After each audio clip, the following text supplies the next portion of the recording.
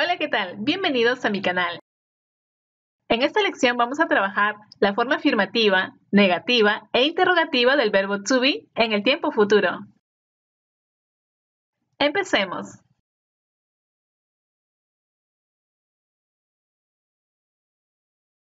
El futuro simple es un tiempo verbal que se utiliza para describir acciones que se van a desarrollar en el futuro, sin necesidad de aclarar en qué momento exacto sucederán. La estructura para formar oraciones afirmativas con el verbo to be en el futuro simple es la siguiente. Primero colocamos el pronombre sujeto. Luego el auxiliar will, seguido del verbo principal en su forma base. Be. Will be. En las lecciones anteriores hemos visto el presente y el pasado simple del verbo to be. Por eso ustedes ya saben que el verbo to be significa ser o estar. Entonces, I will be significa yo seré o estaré. You will be se traduce para su forma singular como tú serás o estarás. Y para la forma plural sería ustedes serán o estarán. He will be significa él será o estará. She will be significa ella será o estará. It will be indica que aquel objeto, animal o cosa será o estará. We will be significa nosotros seremos o estaremos. Y por último, they will be significa ellos serán o estarán. Como pueden apreciar, el verbo no cambia según los pronombres personales sujetos, sino se mantiene inalterable. Ello hace que el aprendizaje del futuro en inglés, haciendo uso del auxiliar will, sea fácil y sencilla. Recuerden que también podemos usar su forma abreviada o contracción. I'll be. You'll be. He'll be. She'll be. It'll be. Will be. They'll be. Ahora veamos algunos ejemplos de oraciones. I will be ready in about 15 minutes. You will be the leading actor of the play. Next summer, she will be in Paris. We will be best friends forever. They will be very happy to see you.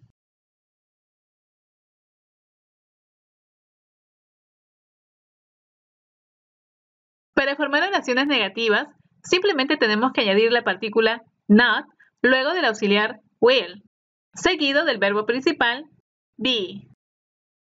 Will not be. O también podemos decir simplemente won't be. Veamos cómo pasar las mismas oraciones que hemos visto al inicio a la forma negativa. I won't be ready in about 15 minutes. You won't be the leading actor of the play. Next summer, she won't be in Paris. We won't be best friends forever. They won't be very happy to see you.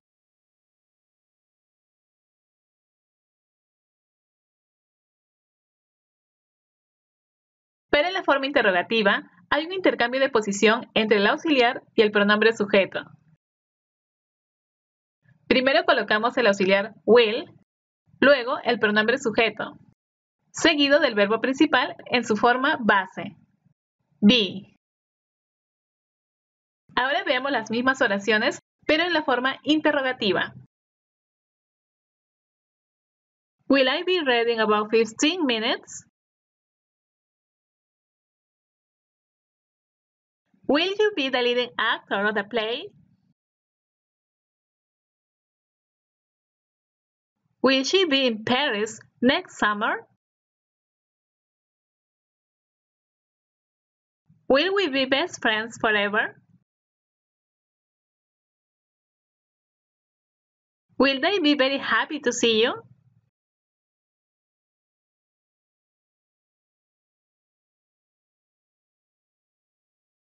Y por último, veamos cómo dar respuestas cortas a estas preguntas.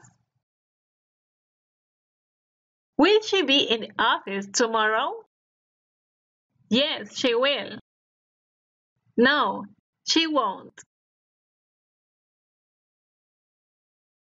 Will they be at home tonight? Yes, they will. No, they won't.